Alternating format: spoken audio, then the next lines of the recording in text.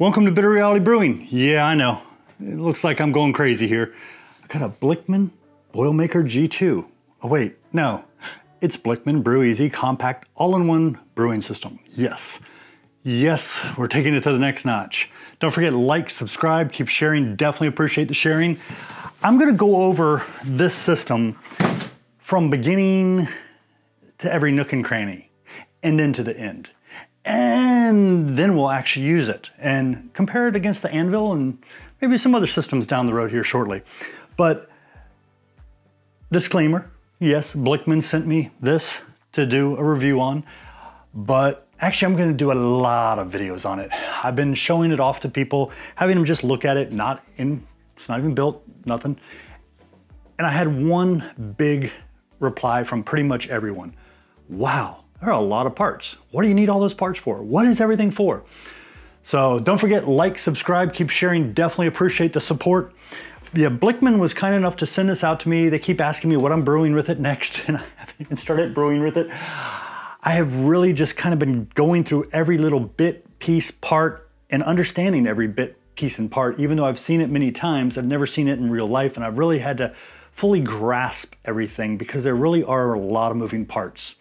So first, what we're gonna do in this video series, yes, I said it's gonna be a series, we're gonna go over basically, you decided that you wanted to get into home brewing, or maybe you were doing some basic brew in a bag and you want to go deep dive in the deep end. I mean, I brewed all grain was the first I ever brewed, and I think I brewed for five or six years before I even tried an extract.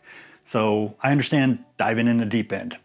But the key here is you want a nice system, you want something with all the bells and whistles, and you want something almost pretty much professional grade, but for a home brewer, but you don't have a lot of space.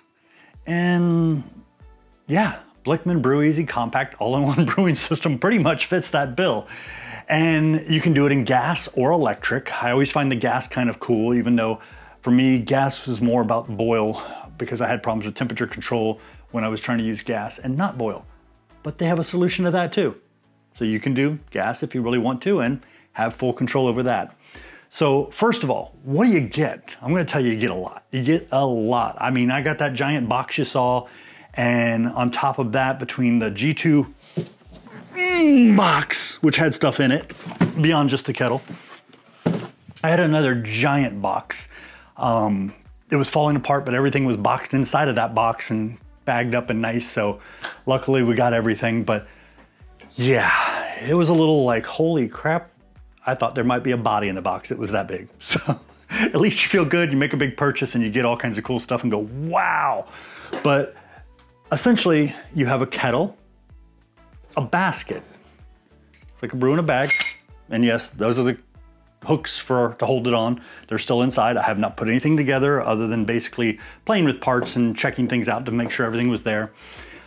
And all the accessories are basically based on the configuration you select. So it's not a one size fits all. It's more of a, hey, we're gonna go from a three tier system to an all in one system and allow you as many options as humanly possible. NPT, which allows you to screw things on, unscrew, makes it nice and simple. Um, no real tools necessary for most of that or tri-clamp, which I know a lot of people are into tri-clamp and they like the tri-clamp system. I don't really have a personal preference at this point in life, but both have their, I guess, pros and cons and both have their benefits. I will say I do like the tri-clamp for ease of cleaning. It seems to be a little easier to deal with, but the NPT really isn't that hard either. I mean, mm, like I said, it's, I like blue or black. I like red or yellow. It's really a personal preference at the end of the day. It is available with or without the following. You can get this in 120 or a 240 volt electrical setup. That includes the Brew Commander.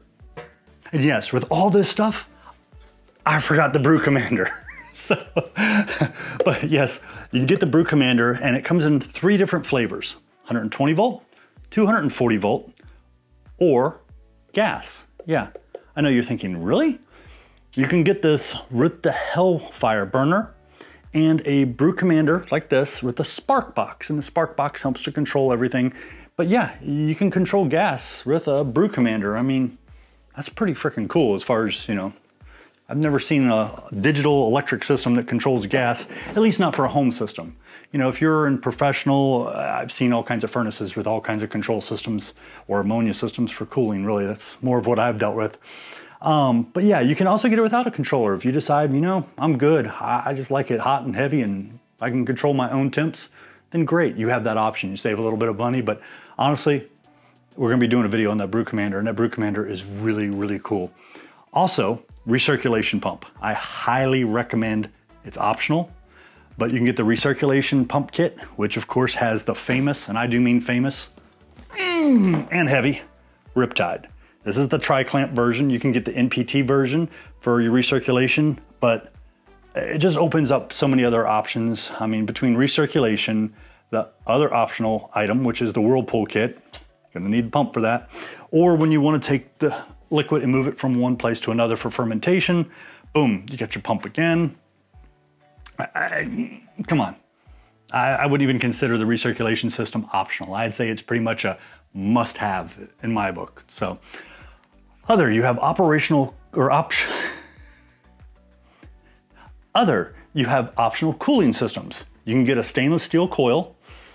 Not real thrilled with that, although they're really easy to clean compared to my jaded Scylla, which is copper, a little harder to clean, harder to make it look shiny. Or another famous piece of equipment from Blichmann, mm, and it is far from light. You could, you know, it also could come as an additional workout. I mean, this thing is a beast. You have your Therminator. There's a plate chiller. If you haven't seen a plate chiller, got copper sandwiched in. It's like a giant maze. For anybody who's never used a plate chiller, which includes me, but I've seen them taken apart and seen them in action. One side is your cool water. The other side is the hot wort. You run it low and slow. And if you keep your cold water coming through at the right temps, Yes, in Florida, that might require a little bit of an ice bath to let the water go through. But the key here is that it allows for the heat transfer to the cool water, cooling your wort, and your wort should come out the other end cool enough. Sometimes you need to do a little recirculation with that just until you feel like the temps are just right. Not a problem. We have temperature control under control. But yeah, the Therminator. Therminator is almost as famous as the Riptide. I mean, every time I've ever seen anybody get a Riptide, it is like the Rolls Royce of vehicles Not sure if that's a good analogy, but you know, you get it. You understand what I'm saying.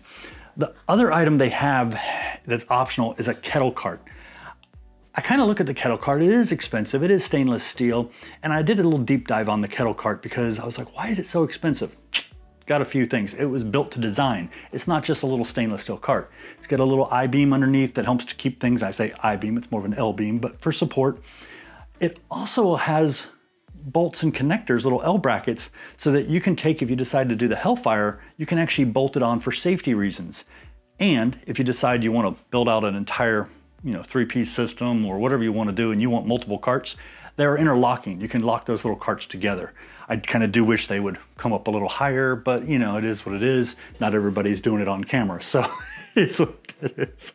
Um, the casters do have locking casters, of course, but the multiple cart connecting thing was something new that I hadn't seen before, and that was really cool. Okay, let's go over the specs. First, boil maker, kettle, 10 gallons, perfect for five gallon batches. Can you do a six? Sure. Can you get away with a little bit more? Yeah, probably. Be careful with boilovers, you know, your mileage may vary based on what you're doing.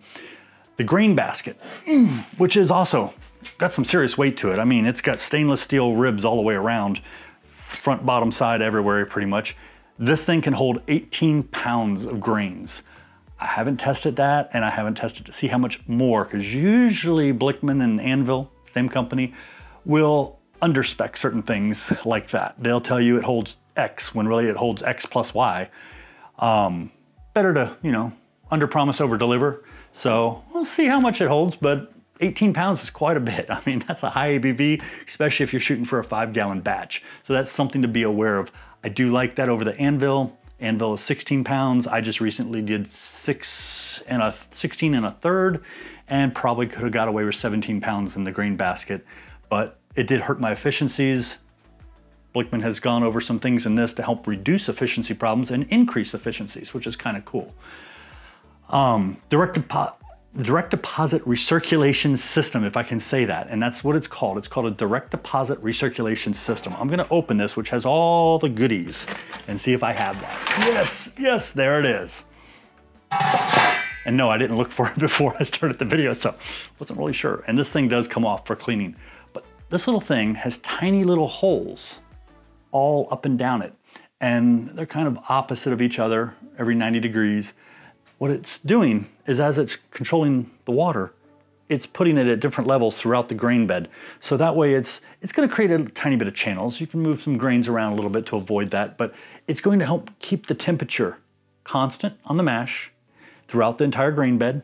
And on top of that, it's going to kind of evenly, or at least try to evenly distribute that water so that you get the best efficiencies possible and don't lose out on some of those sugars or starches that are going to be boiled into sugar after the fact. See if I can set that down without it falling down.